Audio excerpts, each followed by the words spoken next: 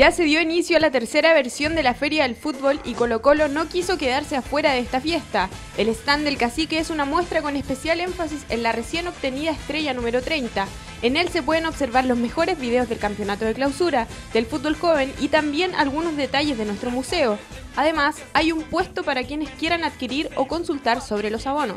Genial, yo creo que es una de, de las mejores después de la selección chilena. O sea, genial, genial es fantástico, fantástico. Sobre todo para uno que lo tiene cerca, o sea, es genial. Sobre todo la Libertadores. Esa no la tiene cualquiera. Porque es bonito todo.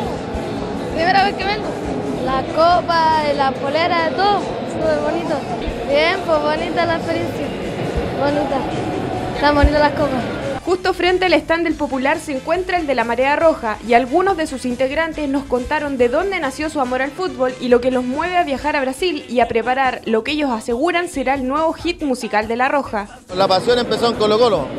Eh, el amor por, por la camiseta, por el fútbol, todo empezó en Colo Colo y de ahí, bueno, la pasión fue más grande y de ahí Chile, pues, obviamente. Otro de los puestos en exhibición es de Francisco Huayquipán, quien promociona su despedida que será en el Estadio Monumental el día 7 de junio. Dejo invitado a todo, a todo el pueblo colocolino a que me acompañe ese día, que se va a encontrar con, un equipo que fue campeón en la quiebra, más el plantel actual y más algunos históricos de Colo Colo, así que nada, pues va a ser una fiesta linda. Pero la feria no se trata solo de puestos de exhibición, también hay demostraciones de fútbol en las dos canchas que tienen dispuestas. Taca Taca Humano, tiendas de ropa y accesorios y todo lo que te interesa saber del deporte favorito de los chilenos. Recuerda que puedes visitar el stand del cacique y todos los que quieras hasta el primero de junio en Espacio Riesgo.